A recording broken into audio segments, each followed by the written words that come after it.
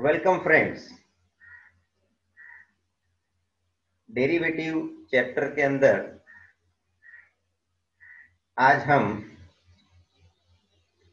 आगे का important concept उस पर हम चर्चा करेंगे।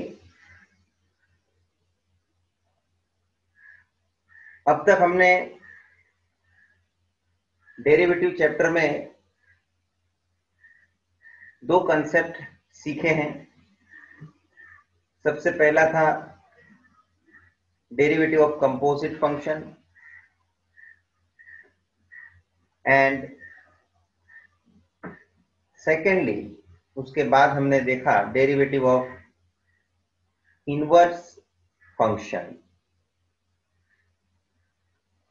students in order, the third part is about logarithmic differentiation. Logarithmic differentiation खास करके डेरिवेटिव का जो प्रोसेस या जो डेरिवेटिव हम फाइंड करते हैं, ध्यान से समझना स्टूडेंट्स डेरिवेटिव जो हम फाइंड करते हैं उसको फाइंड करने से पहले हम लॉग इंट्रोड्यूस करते हैं। So in this concept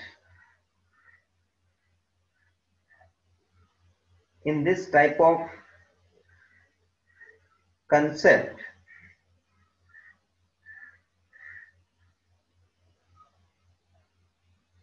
we find derivative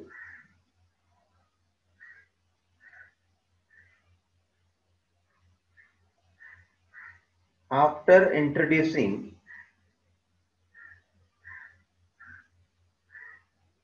log you may say logarithms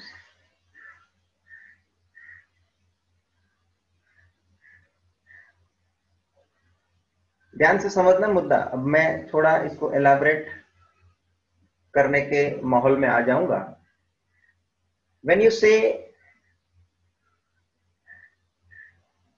कि हम डेरिवेटिव बाद में फाइंड करेंगे, पहले हम उसको लॉग इंट्रोड्यूस करेंगे तो इसका क्या मतलब है? What is the purpose behind introducing log and then you have to find a derivative तो मेरा मेन मकसद तो है डेरिवेटिव फाइंड करना। है तो हम क्यों काम बढ़ा रहे हैं? हमारा लॉग इंट्रोड्यूस होने से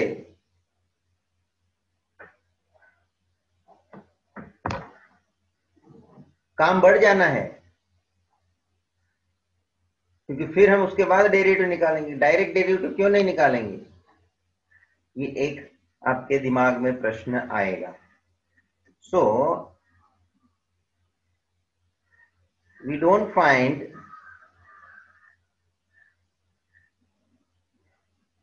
derivative directly but we introduce log both sides in the given function that is y is equals to f of x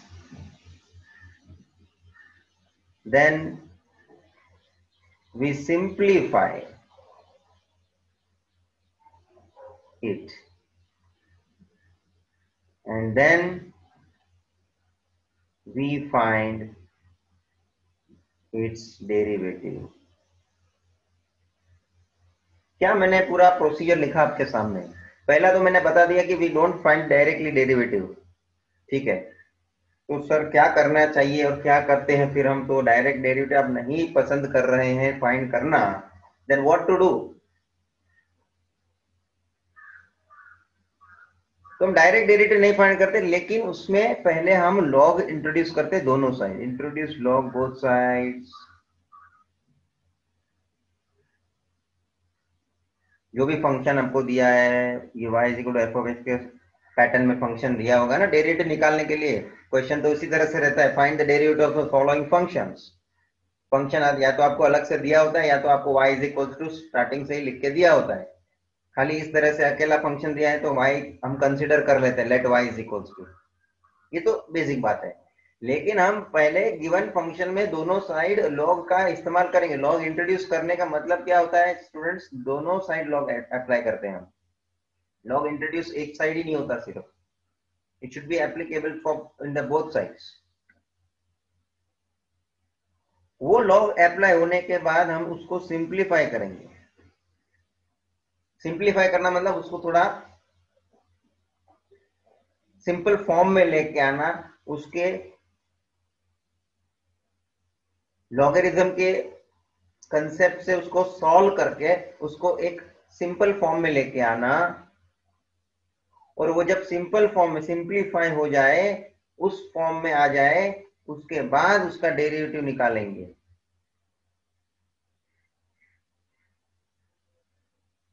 तो मैंने बोल दिया इसको सिंप्लीफाई करना का मतलब क्या है? उसको सिंपल फॉर्म में लाने का। और एक बार वो सिंपल फॉर्म में आ जाएगा ना बच्चों तो उसका डेरिवेटिव है ना, एकदम आसानी से निकल जाएगा। तो अब आपको बात थोड़ा समझ में आना है कि लॉगरिथम्स इंट्रोड्यूस होने पे उस फ़ंक्शन को सिंप्लीफाई करने का मौका मिलता है, जिससे कि वो फ़ंक्शन एकदम सिंपल हो जाता है इजी बन जाता है और फिर उस फ़ंक्शन का आप डेरिवेटिव आराम से, आसानी से निकाल सकते हो।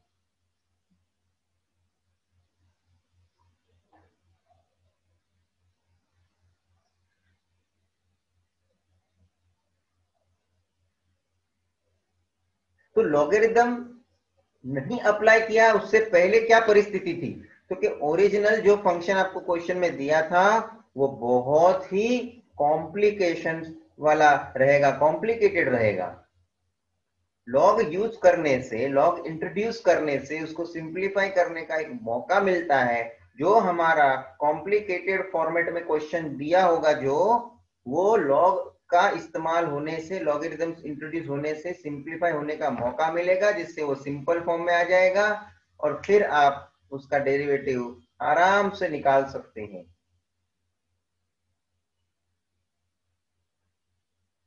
तो हम इसको स्टेप वाइज एलाबरेट करें कि हम करना क्या चाहेंगे।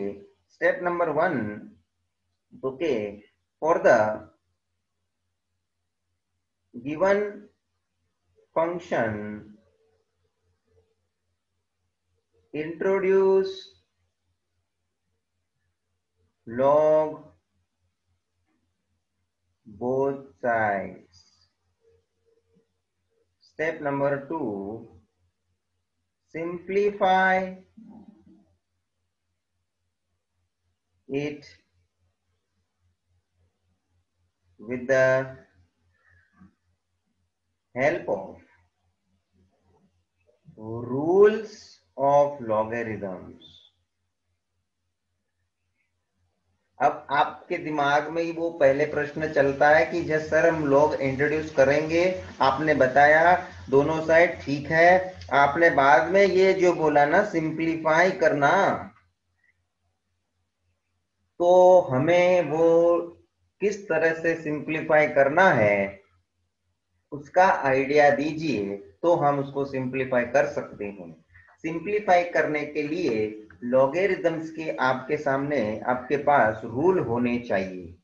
तो यहाँ मैंने लिख दिया है simplification is based on the rule of logarithm logarithms के कुछ रूल्स हैं, और पहले तो मैं आपको वो समझाऊँगा लॉगेरिथम्स कंसेप्ट है क्या? स्टूडेंट्स ये हमने ऐसे तो इलेवेंथ में चर्चा में लिया था, जब भी। कभी, जब भी इलेवेंथ में सबसे पहली बार आपने लॉगेरिदमिक फ़ंक्शन आपने देखा था। क्योंकि खास करके उसका उपयोग for example set relation function function में भी ये लॉगेरिथमिक फ़ंक्शन की बात आती है। वहाँ तो मतलब शुरुआती तौर पे आपको उसकी पहचान क्या है वो पता चलती है कि लॉगेरिथम ऐसे तो भाई पहले के उसमें लोग ने लॉगरिदम का अलग डेडिकेटेड चैप्टर रखते थे पहले। अभी इन लोगों ने सब ये निकाल डाला, मेरे को समझ में नहीं आ रहा है किस तरह से इन लोग सिस्टम में चलना चाहते हैं। स्टूडेंट्स को उससे मदद मिलती हो, जो चैप्टर निकाल के उन लोग क्या करेंगे मेरे को मालूम नहीं है, मगर वो चैप्टर से स्टूडेंट्स को बराबर से हेल्प मिलती थी। इस तरह के कंसेप्ट के अंदर जब आगे बढ़ते हो लॉगरिदमिक फ़ंक्शन का जब यहाँ यूज़ होता है ना, तभी स्टूडेंट को पता चलना है कि उसका क्या इंपॉर्टेंस बनता है।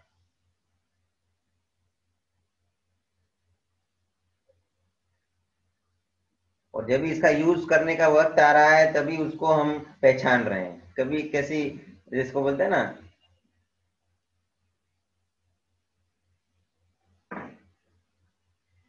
उल्टी गंगा बह रही है। हमको कंसेप्ट पहले से पता होना चाहिए, तब जाके हम यहाँ उसका कंफर्टेबली यूज़ करने के लिए स्टार्ट कर सकते पहले तो हम लोग ये लॉगरिथम चैप्टर हो जाता था करके सो कंसेप्ट स्टूडेंट को बराबर दिमाग में होता था। फिर हम डेरिवेटिव के ये टाइप के अंदर हम लोग डायरेक्टली डेरिवेटिव की चर्चा शुरू करते थे। अभी तो मुझे लॉगरिथमिक फ़ंक्शन क्या है, पहले वो समझाना है। Because you don't know because you haven't learn that chapter you haven't gone through that concept क्योंकि चैप्टर निकाल दिया पागल लोग।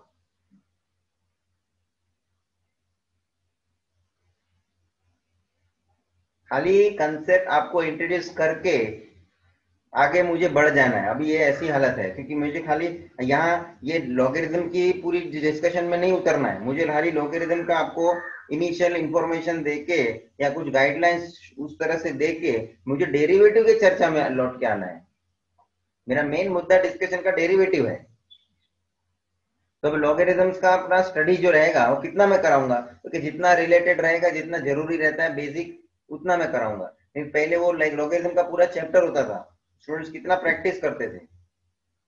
उससे वो कंसेप्ट पूरा बैठता था दिमाग में, क्योंकि इतने उसके क्वेश्चंस भी होते थे सॉल्व तो जितने भी क्वेश्चन सॉल्व होते थे तो उसके लिए उसके रूल्स जो है लॉगरिथम्स के हम यूज़ करते रहते थे। तो बार बार बार बार बार बार क्वेश्चन सॉल्व करने के लिए रूल्स यूज़ करते रहेंगे आप तो अपने आप दिमाग में रूल बैठ जाता है। अब यहाँ तो रूल्स आप पहली बार स्टडी करेंगे रूल्स को पहली बार देखेंगे। उसको यूज़ करने के लिए तो डायरेक्ट आपको डेरिवेटिव में आना है। गजब की परिस्थिति है स्टूडेंट्स की। Due to our system what we can say चलिए, हम तो हमारे हिसाब से मेहनत रखने का, प्रयत्न में रहने का जो है, उसको फेस करना है, जो परिस्थिति उसके सामने अपने को भिड़ना है। कोई बात नहीं, ज़्यादा बोलने से कुछ होने वाला नहीं है। We have to this situation any how students ध्यान रखिए, मैं आपको धीरे धीरे लॉगेरिथम्स की वैल्यू में से निकाल के डेरिवेटिव के रास्ते लेके आऊँगा। चलिए। तो मैंने क्या लिखा फ़र्स्ट स्टेप तो गिवन फ़ंक्शन जो भी है, उस फ़ंक्शन में पहले तो आप इंट्रोड्यूस करें लॉग दोनों साइड्स कभी एक साइड नहीं होता तो you have to introduce log both side one thing उसके बाद लॉगरिथम आपका आने के हिसाब से इंट्रोड्यूस हो जाने के हिसाब से आप उसको सिंप्लीफाई करें। कैसे सिंप्लीफाई करेंगे? उसके रूल्स को समझ के रूल्स के आधार पे। रूल्स के बारे में हम चर्चा करेंगे। पहले ये खत्म हो जाने दीजिए स्टेप रूल्स यूज़ करके लॉगेरिदम्स का जो भी रूल है, उसको आप यूज़ करके उसको सिंप्लीफाई करेंगे। सिंप्लीफाई होने से वो फ़ंक्शन क्या हो जाएगा? इजी बन जाएगा। after simplification after having simplification that is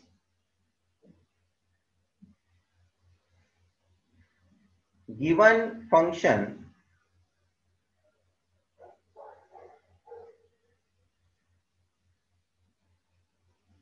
will be reduced to the extent where derivative can be find very easily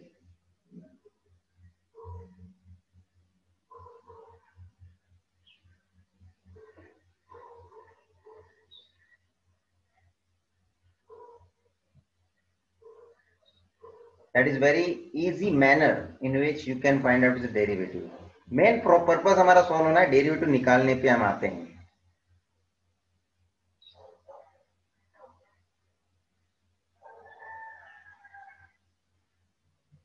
so derivative can be find in easy manner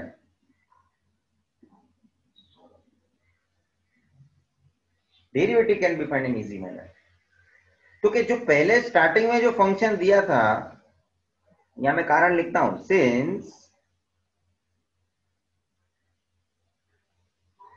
function given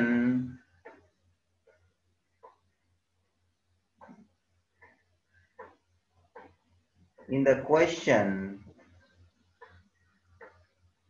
the beginning question जो दिया है उसमें जो function दिया है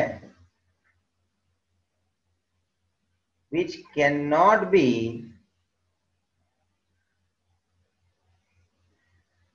differentiated.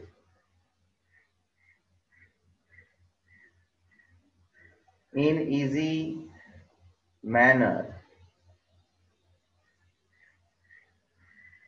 Directly or sometimes it happens or direct derivative is not possible एक तो मैंने पहला कारण लिख दिया। फ़ंक्शन जो क्वेश्चन में दिया है, वो एकदम ही इजीली डेरिवेटिव उसका निकाला नहीं जा सकता है। स्टार्टिंग में आप डायरेक्टली डेरिवेटिव निकालना शुरू करो, वो इतना बड़ा कॉम्प्लेक्स तरीके से फ़ंक्शन हमें डिस्क्राइब किया रहता है। आप उसका डायरेक्ट डेरिवेटिव निकालने का कोशिश करो स्टार्ट करो तो आप बहुत कॉम्प्लिकेटेड वे से उसको आगे बढ़ा लेंगे और बहुत कॉम्प्लिकेशंस आ सकते हैं। और नॉट पॉसिबल समटाइम्स कि उतना बड़े बड़े तरीके से बड़े बड़े स्टेप्स को आप कंसिडर करके डायरेक्ट डेरिवेटिव निकालना शुरू करो और आपको मिल जाएगा तुरंत। May take time efforts energy etcetera etcetera तो उसको इजी बनाओ ना। तो उसीलिए तो हम लॉगरिथम का इस्तेमाल करके उसको इजी बनाना चाहते हैं, ताकि उसका डेरिवेटिव हम तुरंत इजी वे से निकाल सके। और कभी कभी कुछ फ़ंक्शन ऐसे होंगे आपको मैं डिस्कशन में आगे लूँगा एग्जांपल्स के साथ। कुछ फ़ंक्शन ऐसे होंगे कि जिसका डायरेक्ट डेरिवेटिव निकालना पॉसिबल ही नहीं है।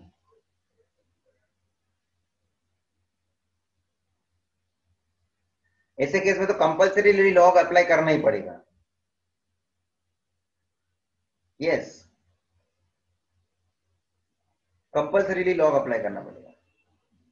तो अब मैं ये जो चर्चा कर रहा हूँ, मैंने लास्ट स्टेप की बात जो मैंने कंप्लीट करनी है, उसके साथ मैंने रीजन जोड़ा है।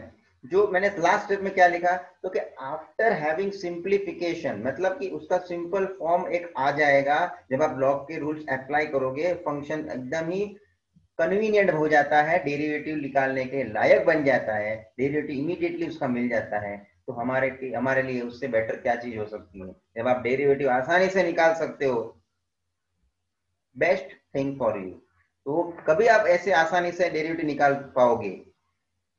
जब भी उसको आप लॉग अप्लाई करके उसको सिंप्लीफाई करोगे, तब। और लॉग अब आपके माइंड में ये क्वेश्चन आएगा तो उसका मैंने कारण लिख दिया है कि भाई तो सर ये लॉग ही इस्तेमाल करना है, इसका क्या का, कारण है? लॉग क्यों इस्तेमाल करते हैं? लघु क्यों ज़रूरी बनेगा हमें इस्तेमाल करना? एक तो मैंने ऊपर बता दिया डेरिवेटिव लेने के प्रोसेस में हमको ये लॉग इस्तेमाल करना है ताकि फ़ंक्शन इजी हो जाए। यही कारण मैंने यहाँ लिखा है कि भाई, वो जो डायरेक्ट है डेरिवेटिव जिसका हम निकाल नहीं सकते हैं ये एक कारण हुआ और दूसरा ये कारण हुआ कि फ़ंक्शन जो है वो इस तरह से एकदम कॉम्प्लेक्स तरीके से दिया होता है डिफ़िकल्ट वे से दिया होता है। उसका डेरिवेटिव डायरेक्टली निकाल पाना बहुत ही कॉम्प्लिकेशंस क्रिएट कर सकता है। बहुत बड़े बड़े स्टेप्स आते हैं। उस पूरी स्टोरी से आपको बाहर निकलना हो इजी तरीके से आपको जो डेरिवेटिव निकालना तो लॉग पहले इस्तेमाल करके उसको सिंप्लीफाई कर दो। तो इसलिए मैंने लिखा है function sometimes which is given in the question which can not be differentiated मतलब जिसका डेरिवेटिव हम निकाल नहीं सकते इजीली ऐसे सिचुएशन में आप लॉग का इस्तेमाल करें और उसको सिंपल फॉर्म में लेके आए और फिर आप उसका डेरिवेटिव फाइंड आउट करें।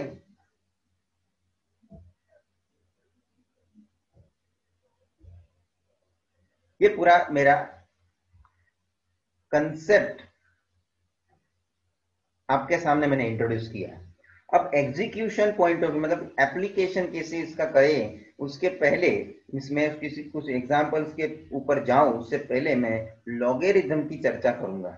क्योंकि स्टूडेंट्स डेरिवेटिव निकालने से पहले लॉगेरिज्म इंट्रोड्यूस करना जो है, उसके बाद उसको सिंप्लीफाई जो करना है बाय यूजिंग द रूल्स मैंने लिखा इधर।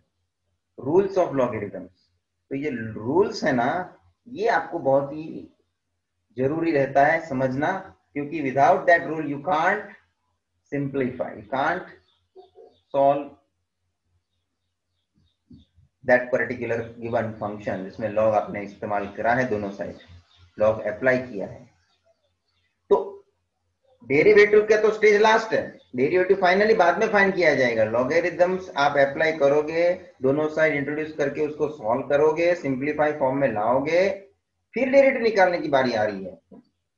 तो डेरिवेटिव तो लास्ट की बात हो जाती है। पहले हम लॉग का इस्तेमाल करना है लॉगरिदम्स का रूल्स का यूज़ करना है तो पहले हम लॉगरिदम की चर्चा करेंगे।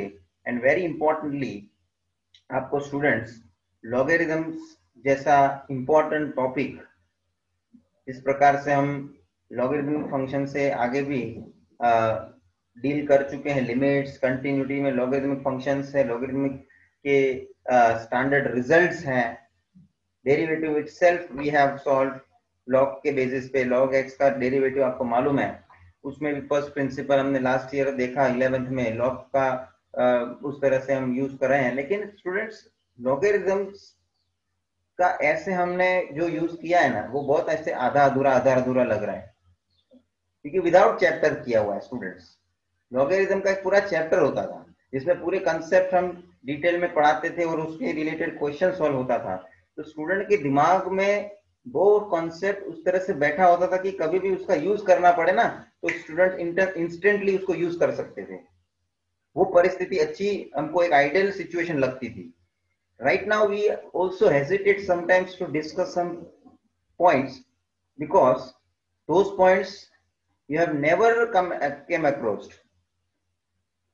due to the change in the syllabus pattern uh, etc whatever you say. But it is important. ठीक है? हमको बार बार बार बार याद आता है क्योंकि हमको वो आइडियल सिचुएशन दिखती है स्टूडेंट के रिलेटेड हमारा प्रयत्न ये रहता है कि हम स्टूडेंट को बेस्ट एनवायरनमेंट के हिसाब से स्टडी में इन्वॉल्व कर सके।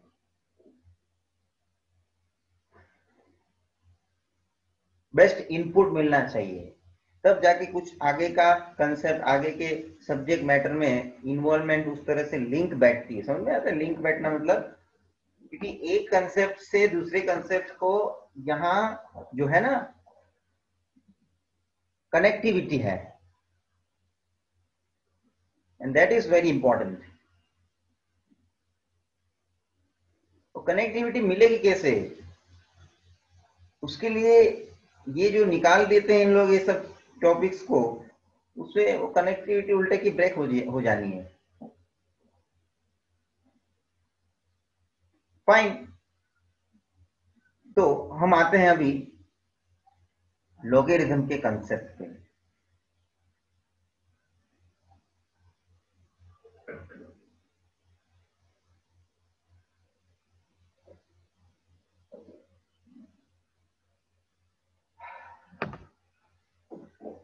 Concept of logarithms.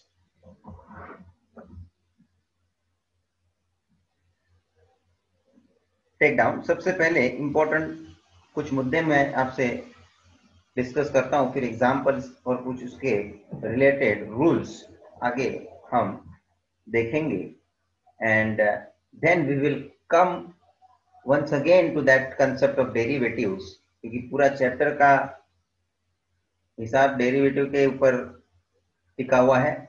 लॉगरिदम्स का कंसेप्ट जो है बीच में यूज़ जो करना पड़ रहा है, उसके बारे में हम थोड़ी चर्चा कर रहे हैं which is related to it and required important discussion concept of logarithm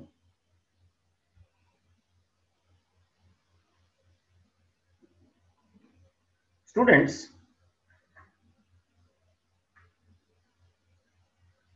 कोई भी एक्सप्रेशन हम लिखते हैं जिस तरह का सपोज़ एग्ज़ाम्पल के तौर पे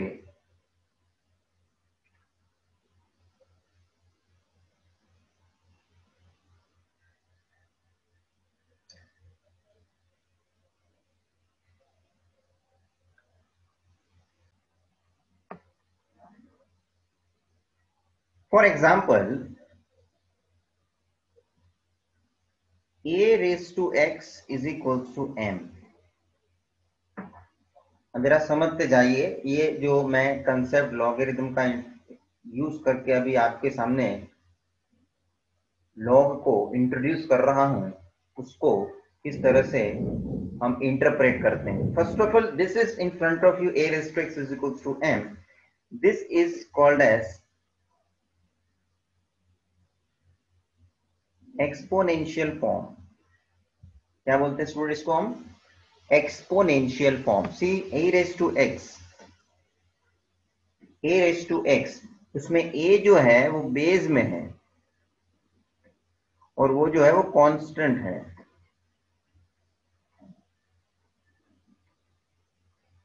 एम जो है, वो राइट हैंड साइड में भी कांस्टेंट है।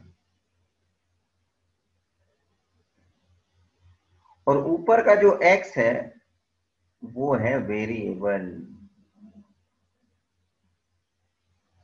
और इसी के लिए हम एक्सपोनेंशियल फ़ंक्शन को भी रिप्रेजेंट करते हैं exponential function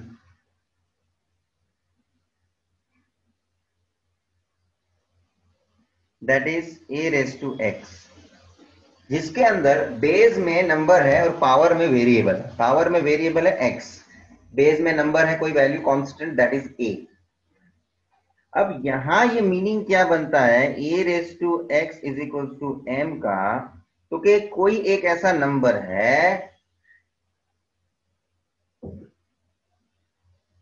जिसका पावर x होगा मतलब x की जगह पे कुछ वैल्यू होगी, जो वैल्यू मुझे मालूम नहीं है, x अभी तो वेरिएबल है वो। तो a raise to x, a के पावर में something that something should be there right now we don't know we have represented as x. तो a रेस टू जो भी होगा वो x it should give me answer m. समझ है पूरे का अंडरस्टैंडिंग क्योंकि ए कोई नंबर है, ऐसा कुछ है फिक्स जिसके पावर में x कुछ नंबर उसका होना है। अभी मालूम नहीं वो x पावर के तौर पे चूँकि है, वो क्या होगा, मगर जो भी होगा वो, उसका आपको आंसर मिलेगा right hand side as m m ये है एक्सपोनेंशियल फॉर्म अब स्टूडेंट्स ऊपर का आइडेंटिफिकेशन जो मैंने लिखा है ध्यान रखना ए बेस में है एक्स वेरिएबल है जो पावर में है वेरिएबल जो है, उसका पोजीशन क्या हो गया? पावर और इनमें से इंडेक्स और राइट हैंड साइड में जो है एम जो कांस्टेंट है। तो अब हम इसका logarithmic form then logarithmic form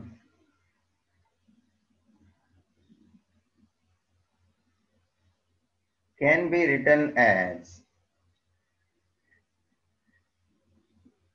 ये तो हो गया एक्सपोनेंशियल फॉर्म अभी हम उसका लॉगरिथमिक फॉर्म लिख रहे हैं तो जो है, इसको लिखा जाएगा log m to the base a is equal to x क्योंकि अब हमको जानने की कोशिश करनी है, वो x की वैल्यू क्या होगी?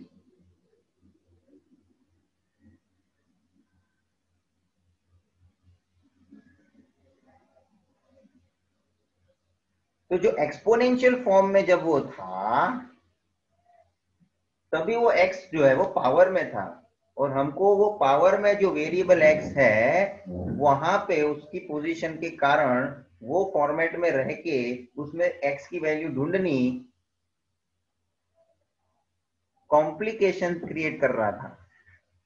क्योंकि वो एक्स पावर में है। एंड ड्यू टू दैट हम उसका x का वैल्यू निकालना हमारे लिए डिफ़िकल्ट हो जाना है। So as the logarithmic concept logarithms का इस्तेमाल, ये एक उसका एडवांटेज मैं आपसे डिस्कस करने का मुझे मौका मिल रहा है। तो due to logarithms this concept we can bring like this जो हमने लॉग का फॉर्म में यहाँ इसको लेके लिखा है। तो उसके कारण अब हम x का वैल्यू निकाल पाना वो आसान हो जाता है। This is what actual introduction to logarithms real term में मैं एग्जांपल दूँगा। यहाँ पे मैंने चर्चा जो लिया वो जनरल फॉर्म में है। स्पेसिफिक टर्म्स लेके मैं स्पेसिफिक पर्टिकुलर एग्ज़ाम्पल में दे के आपसे बात करूँगा। अच्छा पहले इसका कन्वर्जन जो हुआ है, उसके थोड़े कुछ मुझे पॉइंट्स डिस्कस करने हैं। तो यहाँ जो ए था एक्सपोनेंशियल फॉर्म में देखो, यहाँ जो ए था, वो तो बेस में बेस की पोजीशन में है।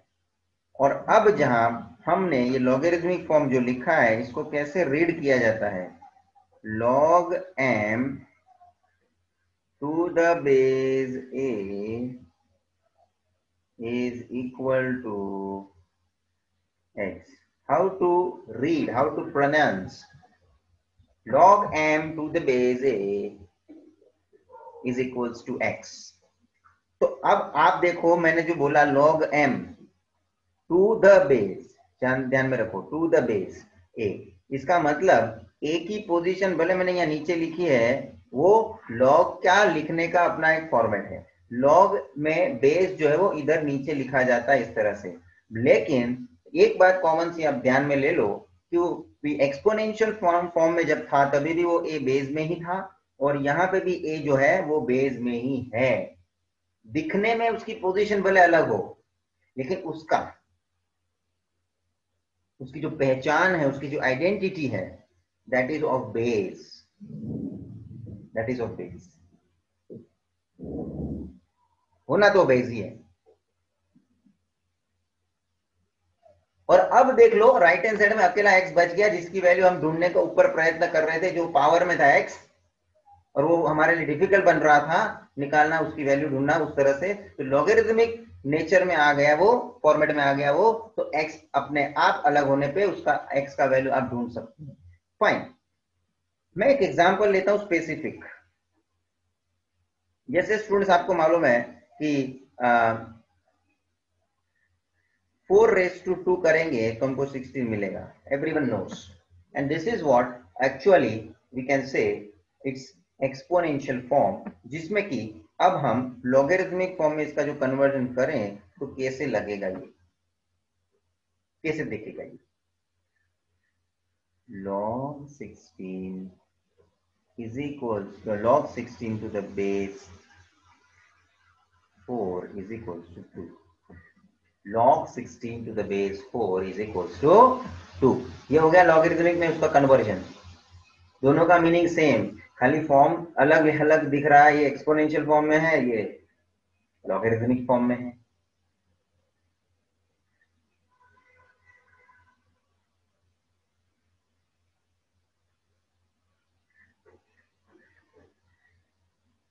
समझ में आ रहा है स्टूडेंट पोजीशन देखो सब। कहाँ घूम गया पूरा।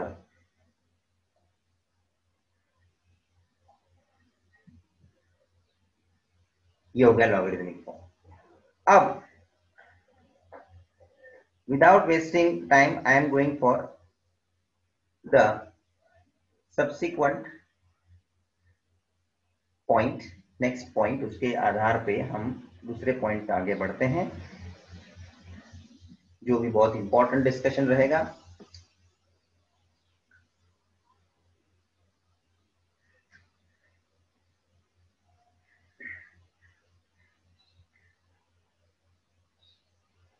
natural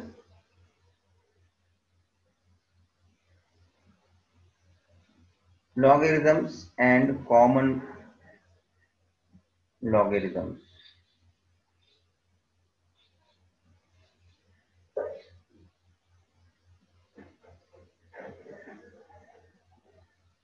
natural logarithms किसको बोलते हैं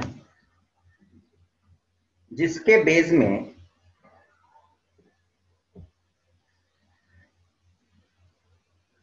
हैविंग बेस ई और कॉमन लॉगरिदम किसको बोलते हैं? हैविंग बेस टेन ध्यान रखना। Base having e is natural natural logarithm and base having ten is common logarithm जिसमें कि बेस टेन के related we have table value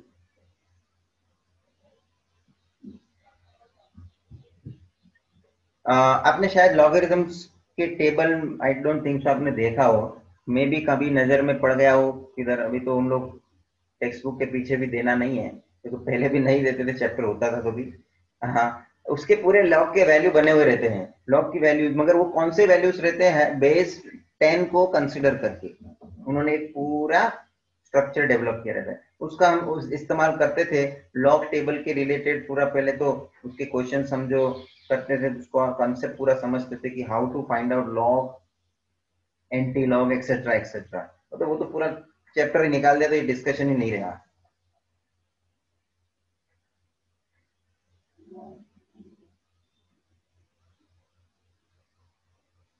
घड़ी घड़ी वो बात मेरी आ जाएगी, तुमको मैं रिपीट करते रहूँगा।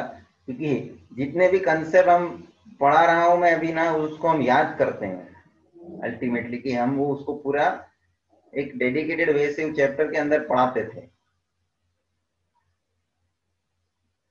खैर, और अभी हमको उसका पूरा जिसको बोलते हैं ना कि भाई वो ट्रेलर जैसा दिखा के खत्म करना है।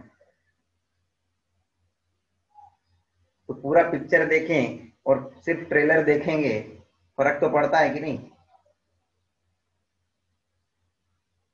ट्रेलर देख के जितना खुश होंगे, पिक्चर देख के उतना खुश ज़्यादा होंगे ना? Satisfaction also we got that completely आप उसका चैप्टर हम पढ़ाते हैं तो उसका जो हमको सेटिस्फेक्शन रहेगा, बच्चों को सेटिस्फेक्शन मिलता है, वो अलग एक बात होती है। और इस तरह से खाली आपको मुझे हाइलाइट्स करानी है, दिखाना है खाली कंसेप्ट को ऊपर ऊपर से, उसमें मज़ा कम हो जाती है बच्चों, लेकिन ये हमारे को कुछ नहीं है, ये फिर है तो करना पड़ेगा। But even though I have I am going to give you in depth only because I am taking this particular lecture completely on this background और ये पूरा डिस्कशन करने का मैंने आपको पहले ही वो लॉगेरिथम डिफरेंशिएशन के आधार पे मैंने डेरिवेटिव का चर्चा आपके सामने कर दिया ताकि आपको ऐसा ना लगे कि सर ये ये डेरिवेटिव के अंदर लॉगेरिथम्स का क्या चर्चा कर रहे हैं, क्यों कर रहे हैं? ये किसी के भी दिमाग में अभी चलेगा नहीं क्यों ये पॉइंट क्योंकि आपको पता चल गया है कि लॉग का यूज़ कैसे है, क्यों है, और ये हमको क्यों अभी स्टडी करना पड़ेगा। बिकॉज़ ऑफ़ दैट डेरिवेटिव हमको जो फाइंड आउट करना हुआ है उसके आधार पे ये चर्चा हमने कंटिन्यूएशन में ली है। So very important discussion we are doing it that you must understand and need to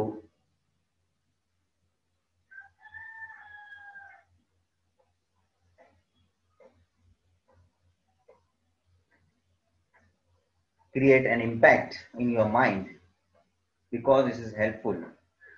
तो अब मैंने दो तरह के लोगरिदम से आपके सामने खाली बोलना है था। ये दो तरीके के लोगरिदम इसका क्या अप्रोच है हमारा? ध्यान रखो। क्योंकि तो जिन, जिनका बेस में टेन होता है, उसका तो एक टेबल वैल्यू अलग से बना हुआ है। इसको हम लॉग टेबल बोलते हैं। और वो बेस टेन को लेके बनाया हुआ है। और जब कब? बेस में कुछ नहीं दिया है। दैट इज़ यहाँ पे आपको लिखने के लिए हम इस तरह से बता सकते हैं। एग्ज़ाम्पल के तौर पे लॉग किसी का भी आप ले रहे हो, उसके बेस में टेन है। और यहाँ पे आप बताना चाहो तो कोई भी वैल्यू का आप लॉग लेते हो, उसके बेस में ई e है। तो देखो, ये बेस में टेन होना और बेस में ई e होना। दोनों को हम बोलते हैं क्या है? एक टेन जो बेस में रहेगा, उसको बोलते हैं कॉमन लॉगेरिथम्स और जो ई e है बेस में, उसको हम बोलते हैं नेचुरल लॉगेरिथम्स और एक खास important note take down important note to understand if base is not given, then we must consider base as E. That's full and final. जो भी हमारे को, समझो, कभी कोई बेस में कुछ नहीं दिया है, समझो, खाली ऐसे छोड़ दिया लॉग एक्स तो बेस में कुछ नहीं होने पे हमको क्या कंसिडर करना है nothing is there in the base consider ई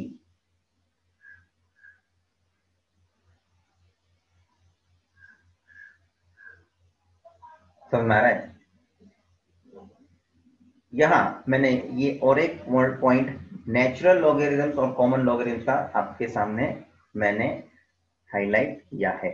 ना very important point next I am going to take that is about rules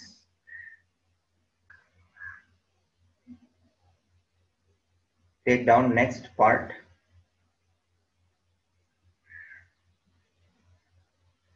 rules of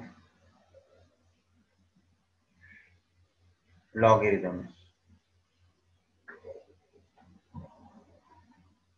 And after completing this, we'll uh, come back to the derivative part, which is our main and important discussion of this chapter. So, rules of logarithms ध्यान लीजिए सबसे पहला जो rule है आपको ध्यान में लेना है, इसको हम लॉ भी बोलते हैं। Laws of logarithms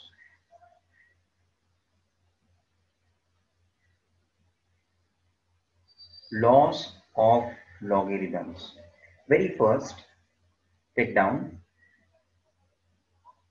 log m into n इसको मैंने ब्रैकेट में इसलिए लिखा बिकॉज़ m इंटू एन दोनों एक दूसरे से मल्टीप्लीकेशन के प्रोसेस में है। To the base a can be written as log m to the base a plus log n to the base a students कभी भी log के साथ दो या तो दो से ज़्यादा टर्म्स प्रोडक्ट में है। देखो प्रोडक्ट इन द सेंस ये मल्टीप्लीकेशन है ना, दोनों m और n that product that multiplication ज़रूरी दो ही हो, दो से ज़्यादा भी हो सकते हैं। तो आप उसको अलग अलग लिख सकते हैं इन टर्म्स ऑफ़ एडिशन तो प्लस का साइन आया है, देख लो। और और तो और, जब आप अलग अलग लिख रहे हो तो जब भी आप उसको अलग अलग लिखेंगे, सबका बेस ए ही रहेगा, क्योंकि जब log एम इंटू एन था एक साथ, तभी भी उसका बेस ए ही था। तो सब अलग अलग होंगे, तभी भी उसके बेस ए ही रहेंगे। ये एक्चुअली रूल जो आया है ना, ये जो रूल आया है ना वो कौन से रूल में से आया है मालूम है? इंडाइसिस के आपके रूल्स को आप याद करो। इंडाइसिस के रूल को आप याद करेंगे, आपको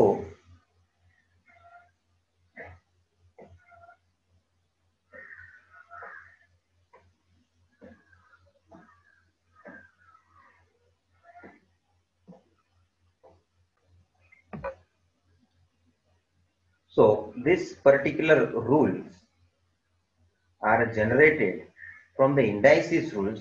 Basically ये जो पहला मैंने आपके सामने logarithm का पहला वाला रूल लिखा है वो कहाँ से आया है ये आपको समझना हो तो यू कैन अंडरस्टैंड ये रूल जो है a raise to m into a raise to n can be written as a raise to m plus n ये ये ये कुछ इंडाइसिस की बेसिक बातें हैं ना, जिसको हम लॉगरिदम के प्लेटफॉर्म पे लेके आते हैं। तब जाके वो लॉगरिदम का रूल बना हुआ है। देख लो स्टूडेंट्स तो एक बात ध्यान रखो लॉगरिदम का कंसेप्ट अपनी जगह पे है और इसके जो रूल्स हैं, वो रूल्स को डेवलप किए हुए हैं विथ दिस इंडाइसिस रूल्स थोड़ा आपको ये अंडरस्टैंडिंग लेना इस तरह से अच्छा भी लगेगा, क्योंकि आपने अंडरस्टैंडिंग में इंडाइसिस के रूल तो पड़े हुए हैं ना। आपके दिमाग में है ही वो, कि ए रेस टू एम और ए रेस टू एम दोनों एक दूसरे से मल्टीप्लीकेशन में है, और बेस में ए ए सेम है। ए बेस में ए ए सेम है बोला मैं। तो यहाँ log m इंटू एन जो दिया है, उसके बेस में ए अकेला बेस में सेम है। आती है वो सेंस वो सेम भाषा। तो अलग अलग हो जाए तो भाई ये उस तरह से एडिशन के रिलेशन में जाता है। तो ये रहा, देखो इसका भी एडिशन के रिलेशन में ये पॉइंट मेरा आ चुका है पावर में m प्लस एन एडिशन हो गया। चलिए स्टूडेंट्स इसी तरह से अब मेरे, मैंने आपको इंडाइसिस का रूल का बेस बताया तो आपको अभी लगेगा कि सर ये खाली अकेला थोड़ी इंडाइसिस का रूल है। दूसरे भी तो इंडाइसिस के रूल हैं तो उसके ऊपर से और लोगेरिथम के और तो रूल जो है, वो बनते जाएँगे। बात सही है आपकी? Since this rules of logarithms are connected with the law of indices अब देख लो। एक ही आपको फॉर्मूला का मैंने कनेक्टिविटी बताया आपको लगेगा कि सर और आगे के इंडाइसिस के रूल के आधार पे लॉगरिथम के और जो रूल्स बनने हैं बट ऑब्वियसली उसमें से ही बनने हैं। चलिए सेकंड मैं आपसे लॉगरिथम का रूल लिखूं, उससे पहले मैं ये जो इंडाइसिस का रूल मैं इस्तेमाल करने वाला हूँ, वो आप मुझे बताइए नेक्स्ट वाला क्या होना है। पहला वाला प्रोडक्ट का रूल था। दूसरा क्वेश्चन रूल है, आपको मालूम होना चाहिए, जैसे a raise to m upon a raise to n लिखते हैं तो जिसका बेस सेम है डिवीज़न रिलेशन है तो उसके बेस को आप एक सेम कॉमन पकड़ के उसके पावर का सब्ट्रैक्शन करेंगे। ये आप लिखते हैं कि नहीं लिखते हैं students this is what your indices rule on this indices rule we can relate to the law of logarithm as log m upon n to the base a can be written as log m to the base a minus log n to the base a देख ले ऊपर वो दोनों m और n product में थे यहाँ m और n दोनों क्वेश्चन में है डिवीज़न के रिलेशन में है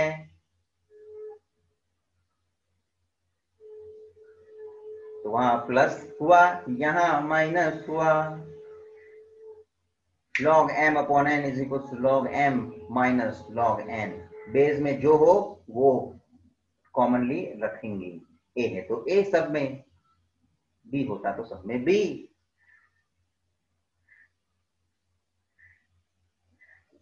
स्टूडेंट्स थर्ड रूल पे मैं आता हूँ लॉगरिदम्स के। और जो तीसरा रूल हम यूज़ कर रहे हैं that is very important log m raise to n to the ध्यान रखना, ये एम के पावर में है n then this n will appear in the base नीचे आ जाएगा लॉग के पीछे मल्टीप्लीकेशन में तो कैसे दिखेगा? N into log m to the base a. Student ये पावर n जो है ना, वो किसका है? सिर्फ़ m का है। सिर्फ़ m का, इसलिए मैंने ब्रैकेट खास बताया। ये गलती से कोई ऐसा मत मान लेना, log m whole raise to n, ऐसा नहीं। इसमें और इसमें आपको फ़र्क दिखता है कि नहीं? जो मैं बात कर रहा हूँ, मैं इसकी बात कर रहा हूँ, उसका पूरा आप बराबर से बात समझ लीजिए। This is not to be treated कभी स्टूडेंट इस तरह से समझ लेते हैं या इस तरह से अंडरस्टैंडिंग लेना शुरू कर देते हैं। होल पावर नहीं है। लॉग एम का होल पावर एन नहीं है। एन जो पावर है, वो खाली एम का है एम एम मैं पॉइंट आउट ज़्यादा ही इसलिए जानबूझ के भी कर रहा हूँ ताकि ये जो कुछ मिसकंसेप्शन कभी धीरे धीरे डेवलप हो जाते हैं या कभी गलती से ये ये आपको वहाँ रिमाइंड करना चाहिए, ये जो मैं डिस्कशन रख रहा हूँ। तभी इसी के आधार पर ये लॉ का रिज़ल्ट लागू होता है। ये हिसाब मत पकड़ना। पूरे का होल पावर नहीं है। एन जो पावर में है वो सिर्फ़ एम के ऊपर है। ठीक है? This is also much important rule और मैं आगे बढ़ता हूँ। फोर्थ रूल पे आता हूँ। And this particular fourth rule I am showing it like this log m to the base n इस तरह से समझो है। तो इसको हम लिखेंगे log m upon log n यह बात ध्यान रखना। ये दूसरी बात ध्यान रखो कि ये जो पहले तो रूल जो हम इसको बोलते हैं इसको हम बोलते हैं चेंज द बेस रूल क्या बोलते हैं? चेंज द बेस रूल अब सुनो और एक बात इसमें अधूरी है मुझे मुझे मैं जानबूझ के लिखा नहीं है अभी मेरा डिस्कशन में, आ, में आता हूँ। Log m to the base n है। तो मैंने पहले लिखा न्यूमरेटर में लॉग एम और फिर दूसरे में डिनोमिनेटर में मैंने लिखा लॉग एम अब आप बोलो कि सर लॉग जो भी आपने लिखा numerator denominator log m upon log m तो बेस में क्या रहेगा?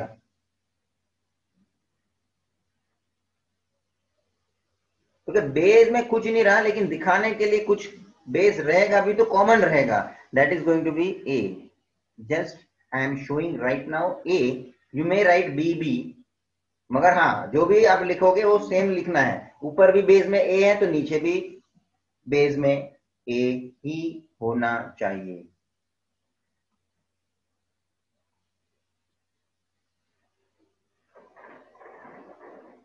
आर गेटिंग इसको बोलते चेंज द बेस रूल अच्छा चेंज द बेस रूल का और एक फॉर्मेट मैं दिखा देता हूँ। Same log M to the base N we can write as one upon one upon log N to the base M ये क्या जादू हो गया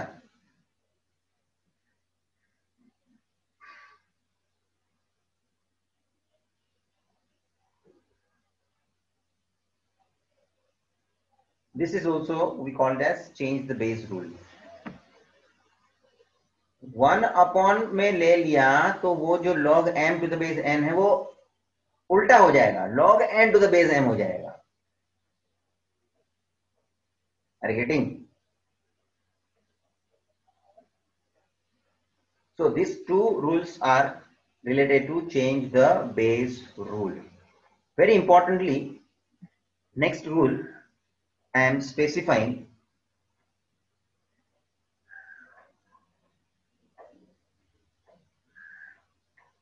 that is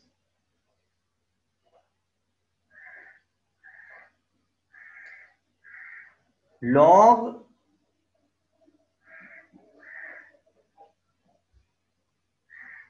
a raised to x to the base a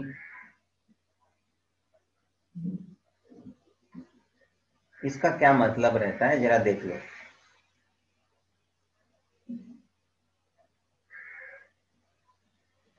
students this rule ये directly हम x लिखते हैं। अब डायरेक्टली एक्स लिखने के पीछे का लॉजिक क्या है? पहले समझ लो। ये जो मैंने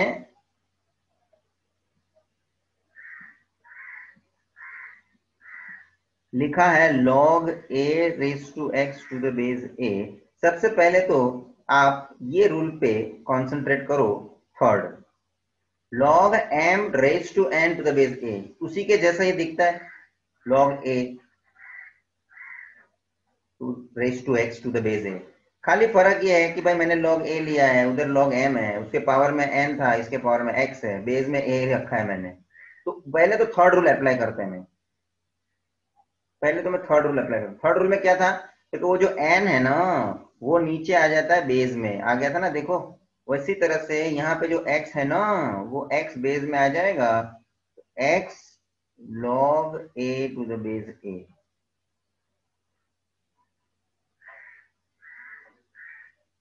अब मुझे वापस एक दूसरी बात पे आना है। यहाँ ये जो इंडिकेट कर रहा है, log a to the base a, ये और एक नया रूल बनने के लिए तैयार हो रहा है।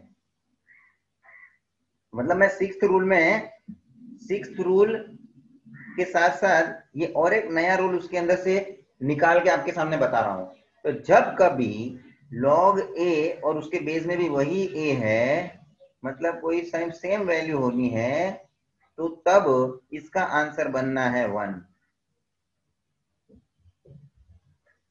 ये रूल कहाँ से आया मालूम? इंडाइसिस के कौन से रूल से आया है? दैट इज़ पहले तो मैं इसका रूल स्पेसिफाई कर देता हूँ दैट मीन्स ये और एक रूल निकल गया है, log a to the base a is equal to one पहले ये समझ लिया आपने। और ये रूल कहाँ से आया है?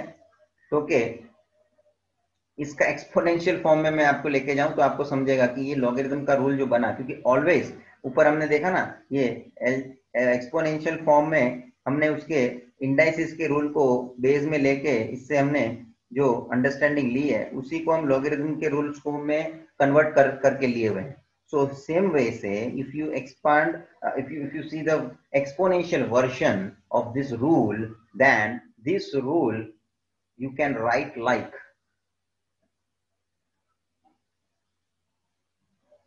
ये किसी के भी पावर में वन हो तो क्या आता है?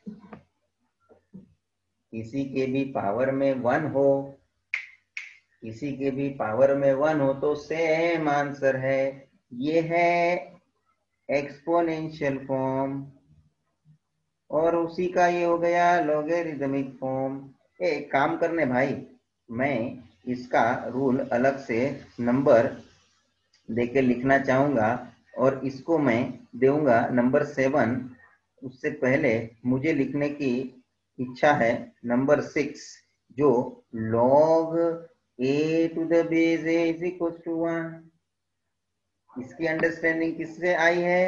तो के from indices rule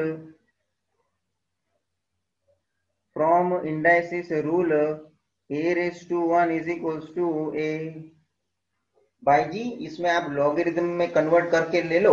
ए, आपको देखो, मैंने लॉगरिदम का जो उदाहरण आपके सामने पेश किया था, ये देखना। उसमें मैंने एक एग्ज़ाम्पल लिया था तुम्हारे सामने। ये देख, मैं प्रीवियस पेज पे आ चुका हूँ। आपने लिखा ही है। Four raise to two is equal to sixteen convert in logarithmic form log 16 to the base 4 is equal to 2 अच्छा मैं उल्टा बोलूँ, log 16 टू द बेस 4 को एक्सपोनेंशियल फॉर्म में कन्वर्ट करके बता तो तू लिखेगा 4 raise to 2 is equal to 16 कैसे? क्योंकि तो ये 4 जो है ना बेस में से यहाँ से निकल के सामने चला जाएगा। और टू को बोलेगा, मेरे ऊपर आ जा पावर में फोर, यहाँ से निकल के राइट हैंड साइड गया अपोजिट साइड गया मीन टू से और टू को बोलेगा, तू मेरे माथे पे आ जा पावर में आ जा. तो फोर एस टू टू हो गया, देख। और यहाँ लॉग निकल जाएगा मतलब सिक्सटीन खाली बचेगा, ये ले। तो जब हम उल्टा करते हैं, उल्टा मतलब लॉगरिथमिक फॉर्म में से एक्सपोनेंशियल फॉर्म में जाएँगे तो आपका लॉग निकल जाएगा। और जब हम एक्सपोनेंशियल में से लॉगरिथमिक फॉर्म में आएँगे लॉग लग जाएगा। Exponential to logarithmic logarithmic to exponential अरे ये भाषा से आप आगे बढ़ो, ये उदाहरण पे मैं आता हूँ वापस। ये ले। A raise to one is equal to a log लागू कर ले। इस राइट हैंड साइड में लॉग ए लग गया लॉग ए के पीछे। और ये जो है वो बेस में चला जाएगा, ये ए और रहेगा ये वन बचा हुआ, ये देख लो वन भाई मालूम पड़ता है? और इसी वजह से जब ये मैं सातवां रूल आपको एक्सप्लेन कर रहा हूँ, ध्यान में लीजिए, सातवें रूल में मैंने ये तीसरा रूल भी एक्सप्लेन किया दोबारा, क्योंकि सातवें रूल में मैंने तीसरा रूल लागू किया, तब जाके वो एक्स नीचे आया। अभी जरा प्रोसीजर देख लेना। और जैसे ही वो एक्स नीचे आया, ये जो बना log a to the base a वो इस सिक्स रूल के कारण वन बन गया। वन बन गया वन इंटू एक्स खाली एक्स आ गया। देख ले भाई। तो ऐसे में बोलो ना तो सातवें रूल की ज़रूरत नहीं है। क्यों? क्योंकि थर्ड रूल तुमने जाना ही है। और थर्ड रूल में से ये बाद में मैंने सिक्स रूल को एक्सप्लेन किया, उसको ही ध्यान रखो। तो सातवां रूल ऑटोमेटिकली कवर होना ही होना है। सातवां रूल ऑटोमेटिकली कवर होना ही होना है।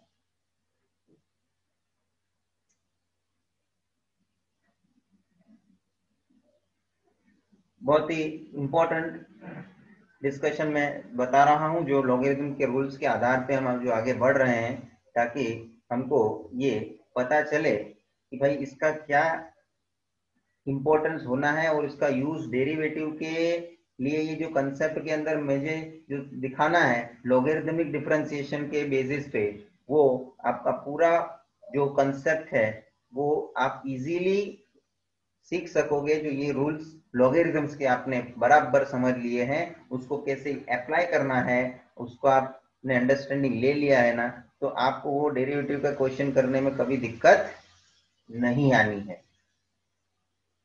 तो ये जो मैंने कुछ डिस्कशन रखा आ, उस और इम्पोर्टेंट रिज़ल्ट में आपके सामने डिस्कस करता हूँ लॉगरिथम के रूल्स के अंदर ही ये यहाँ तक आपने कंप्लीट सात रूल तक समझ लिया चलिए आगे बढ़ते हैं।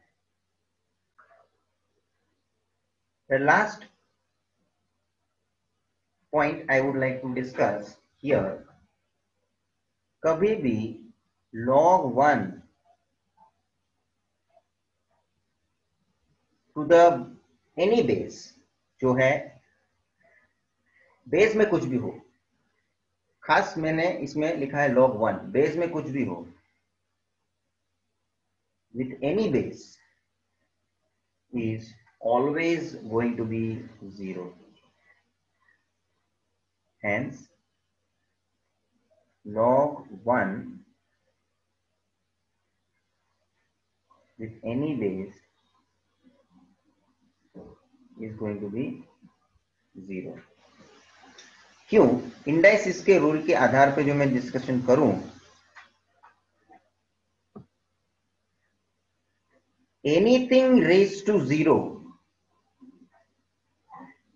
ये किसमें से आया है? From anything raise to zero let me take anything any base any base का मतलब मैंने यहाँ लेना है ए चलो ए लिख देता हूँ। कुछ भी मैंने बेस लेना है बेस में मैंने ए लिख दिया। मैंने लिखा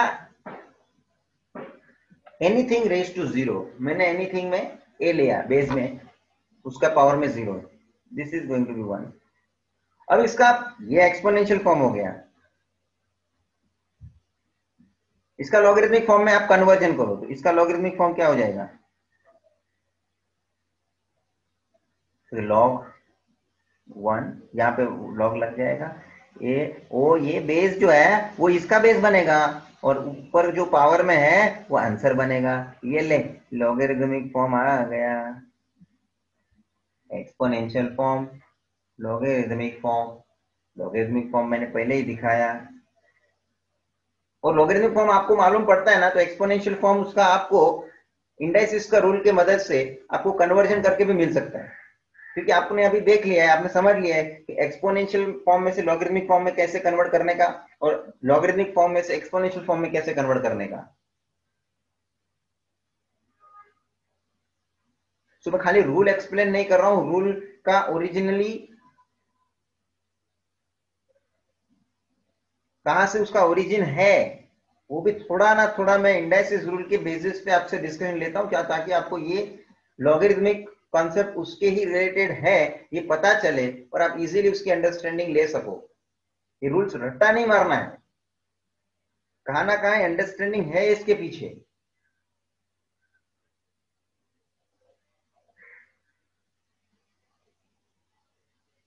और ये रूल की आपको ज़रूरत पड़ने वाली है जब भी आप लॉगरिथमिक डिफरेंशिएशन में लॉग लेके पहले आप उसको सिंप्लीफाई करोगे तो ये सिंप्लीफाई करने के हिसाब से तुमको रूल की ज़रूरत पड़ेगी। वेरी मच इंपॉर्टेंट और जब यूज़ होगा तभी आपको रियलाइज़ होगा नहीं, ये रूल का कहा हमने बात समझा है, वो देखो, अभी वो रूल को हम इस्तेमाल कर पा रहे हैं। तो विद दैट हम आगे बढ़ते हुए कुछ मुद्दे जो है, अब रिलेटेड टू द क्वेश्चन जिसमें कि हम डेरिवेटिव के बातें को आगे बढ़ाएँगे that we will see in the next session till that please repeat this part thank you friends.